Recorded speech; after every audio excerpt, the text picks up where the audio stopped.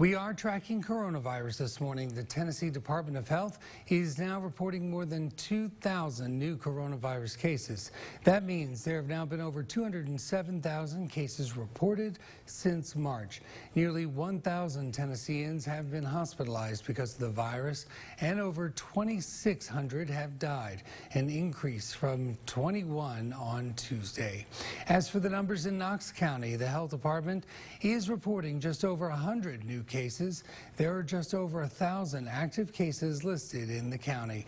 51 Knox County residents are currently hospitalized because of the virus, and no new deaths have been reported, leaving the total at 85. Meanwhile, the Knox County Health Department is updating its COVID-19 benchmarks. Out of the five categories listed, the only two categories in green are new cases and contact tracing capacity. The Health Department is listing testing capacity, hospital capacity, and death rate as yellow. These benchmarks are usually updated during Knox County Board of Health meetings. Those meetings had been held once a week on Wednesdays, but last week the board voted to move to biweekly meetings, which is why there was was not one last night.